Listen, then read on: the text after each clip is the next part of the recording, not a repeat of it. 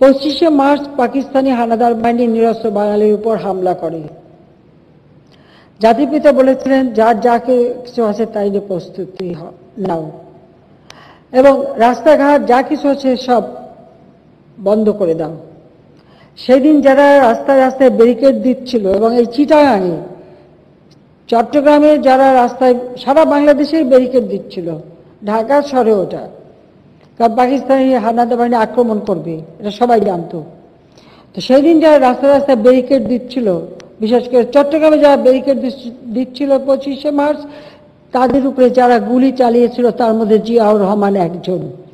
পাকিস্তানি সেনাবাহিনীর সদস্য, একজন সদস্য অফিসার হিসেবে এই বাঙালি যারা সংগ্রাম পরিষদ গড়েছিল জাতিপিতার নির্দেশে, যারা সেদিন রাস্তায় ব্যারিকেড দিচ্ছিল, তাদেরকে এই জিয়াউর রহমান গুলি করে হত্যা করে অনেককেই।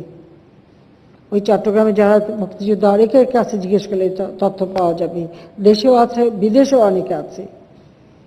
শুধু তাই না, জিয়াউর রহমান পঁচিশ, ছাব্বিশ, দুই দিনই এই হত্যাকাণ্ড চালায়। সাতাশ তারিখে সে যাচ্ছিল সোয়াদ জাহাজ থেকে অস্ত্র নামাতে। সেই অস্ত্র যাতে সোয়াদ জাহাজ থেকে না নামায়, সেখানে কিন্তু আমাদের যারা সংগ্রাম পরিষদে তারা বাধা দিয়েছিল।